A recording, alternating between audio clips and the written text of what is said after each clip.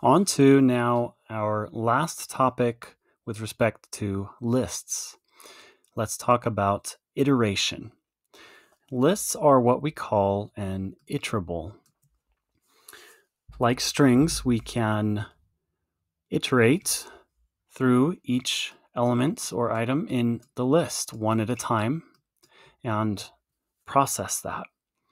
And iterables uh, need a good way to look at each element within them, within their contents.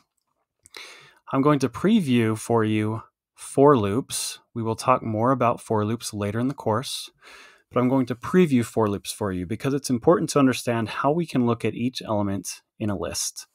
And there are two ways to do it. So I'm going to go over here and we'll show you. And I've got a text file which I've um, uh, created some Python code in.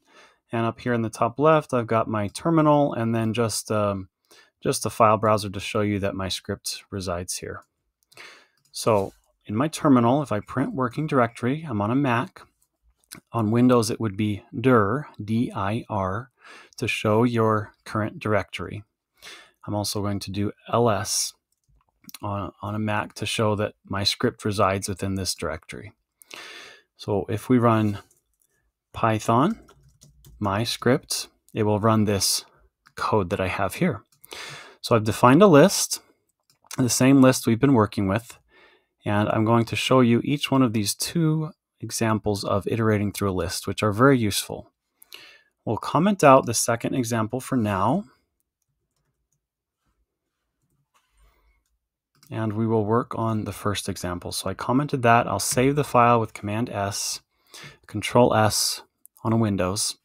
So we will just execute this code right here. All the rest of the code will not execute because it's commented out with our, our hash, hashtags or pound signs. So let's run it. And we see that we output every single item in the list. Now let me walk you through this for loop. For every item, this can be whatever word you want it to be. It does not matter. For item in the list, in my list, that references my list. Then we have a colon and we indent four spaces or a tab.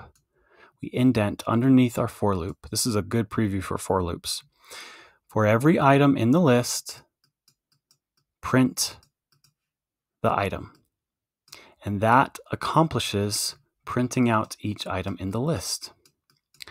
We could call this, uh, let's do it for the sake of uh, showing you, we could call this bleh, like it, it really doesn't matter, bleh, um, as long as they match. We are just saying this is how I want to reference each element is with this temporary or local variable. And then we can reference that variable here. Let's run that again. We're running the script, same exact output. So it doesn't matter what this variable is called. Item is a common way that you'll see it is with item. So I'm going to change that back to not uh, add confusion. Now let's comment that out and show you a second way of, of iterating through uh, a list.